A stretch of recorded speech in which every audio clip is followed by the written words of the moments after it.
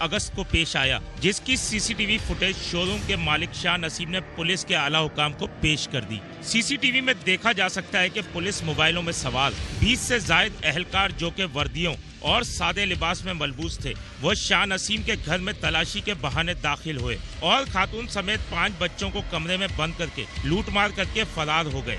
मुद्दई के मुताबिक मुलजिमान उनके घर से 16 तोला सोना, एक लाख सत्तर हज़ार रूपए नग और मोबाइल फ़ोन लूट कर ले गए।